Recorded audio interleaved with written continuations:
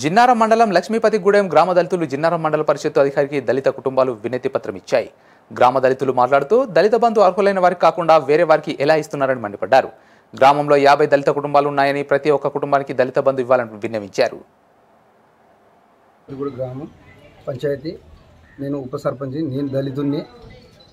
మాకు ఇంటిమేషన్ లేకుండా మొత్తం టీఆర్ఎస్ కార్యకర్తలు సర్పంచ్ గారు వీళ్ళందరూ కలిసి మొత్తం టీఆర్ఎస్ వాళ్ళకు వచ్చిన తొమ్మిది తొమ్మిదో ఎనిమిదో మొత్తం వాళ్ళ పేర్లే వచ్చినాయి. కనీసం నాకు ఒక ఇంటిమేషన్ ఏం లేదు. మేము ఇనన్మాస్ అయి ఊరందరం ఏకగ్రహం చేసుకొని పంచాయతీ ఏకగ్రహంగా అంతా మంచిగా సామరస్యంగా నడుపుకుంటున్నాము. ఏంటంటే గరీబు వాళ్ళకు మొత్తమే ఇల్లు జాగా లేని వాళ్ళకు మొత్తం ఉపాధి పని కల్పి లేని వాళ్ళకు ఇద్దామని మేము మాట్లాడుకున్నాం జర మాట్లాడుకోవడం జరిగింది. రెండు మూడు సార్లు కానీ మమ్మల్ని సంప్రదించకుండా ఎవరో ఇద్దరు ముగ్గురు మాటలు విని అక్కడ ఎమ్మెల్యే దగ్గరికి పోయి వాళ్ళకు సంబంధించిన వాళ్ళు వాళ్ళ దగ్గర వాళ్ళకు అనుచరులు లెక్క ఉండే వాళ్ళకి ఆ ఎనిమిది మందికి వాళ్ళ పేర్లు రాసుకోవడం జరిగింది. దీని దీన్ని మాకు నూతన గ్రామ పంచాయతీకి నిర్మించడం కోసం మన నల్లగండ్ల శంకర్ మాకు సహకరించి ఆయన ఇంటి స్థలం మాకు ఇచ్చాడు. అతనికి ఫస్ట్ ప్రిఫరెన్స్ దళిత బంధువులైన ఇంటి స్థలాలైనా ఫస్ట్ ప్రిఫరెన్స్ తనకి ఇస్తామని అందరం ఒప్పుకున్నాము గ్రామ పంచాయతీ అందరం ఊరందరం ఒప్పుకున్నాము. అతని పేరుగిన లిస్టులు లేకపోవడం చాలా బాధాకరం మాకు. అందులో ఇంకా చౌదరిగూడెంలో మొత్తమే ఏమీ లేని పరిస్థితిలో ఉన్న లాలయ్య కుమారుడు సతీష్ కుమార్.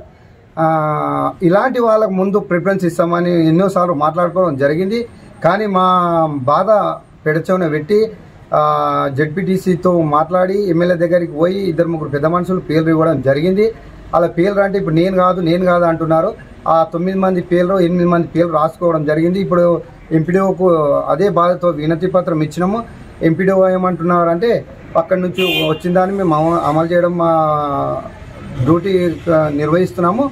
కానీ ఇంతకు మించి మీరు ఏదైనా ఉంటే వాళ్ళతో ఎమ్మెల్యే సాబ్తో మాట్లాడుకొని చేసుకోరు కానీ దాంట్లో మేము ఏం చేయలేము. ఇంత రాజకీయ పరంగా ఇట్లా చేస్తామని మేము ఎప్పుడు అనుకోలే.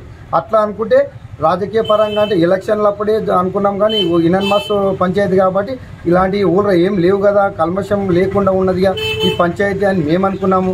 కానీ ఇంత దుర్మార్గంగా ఇంత దుర్మార్గానికి ఒడిగడతారని ఈ గరీబ్ వాళ్ళకు ఫస్ట్ ప్రిఫరెన్స్లో వాళ్ళకి ఇచ్చినాక సెకండ్ విడతలో మనం తీసుకుందాము అని మాట్లాడినాక ఇది వినకుండా మమ్మల్ని కాదని ఒక ఉప సర్పంచ్ని నాకు ఇంటిమేషన్ లేకుండా ఇది జరగడం జరిగింది. దీనికి పంచాయతీలో ఏ ఏ పనులైనా ఇప్పటి నుండి అవి ఎలా జరుగుతాయో నేను ఈయన చూస్తాను అన్ని ఖండిస్తాను. ఇప్పుడైతే పంచాయతీ నూతన గ్రామ పంచాయతీకి స్థలం ఇచ్చిన శంకర్కి మరి ఏమీ లేనటువంటి ఇద్దరు ముగ్గురు పేర్లు చెప్పడం జరిగింది. వాళ్ళకు ముందు వాళ్ళకి ఇచ్చినాక మిగతా వాళ్ళకి సెకండ్ పెడతాలో చూద్దాం.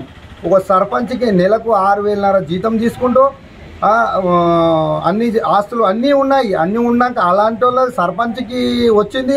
నేను ఒక దళితుని నాకు భూమి జాగలేదు ఏం లేదు.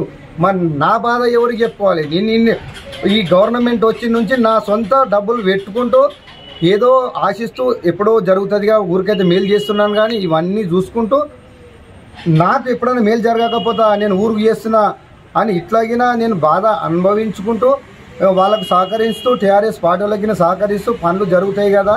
ఎందుకు ఇబ్బంది పెట్టడం ఎందుకని ఇట్లా జరుగుతూ మేము జరుపుకోవడం అయ్యింది కానీ ఇంత దుర్మార్గానికి ఒడగడతారు మాకు అనుచరులకు మాకు దగ్గర ఉన్న వాళ్ళకి రాసుకుంటాము ఇట్లా చేసుకుంటామని వీళ్ళు ఇట్లా చేయడం జరిగింది.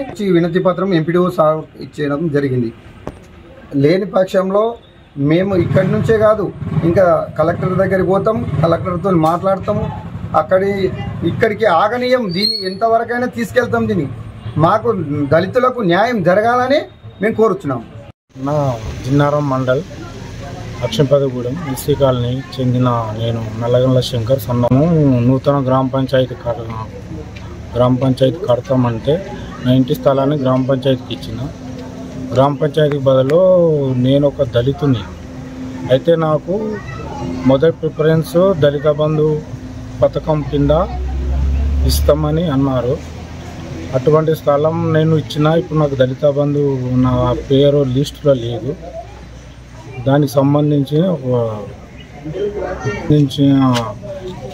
ఆ పేరు రాలేదు కాబట్టి ఆ తిన్న మొదటి విడతలో రావాలని ఎంపీడీఓ గారికి వినతి పత్రం అందజేస్తున్నాను.